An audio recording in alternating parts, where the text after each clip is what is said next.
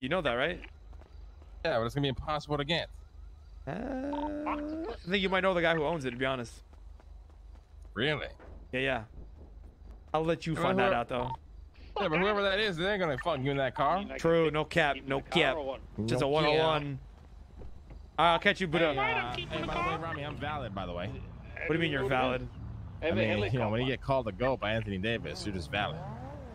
This guy, dude. Cops.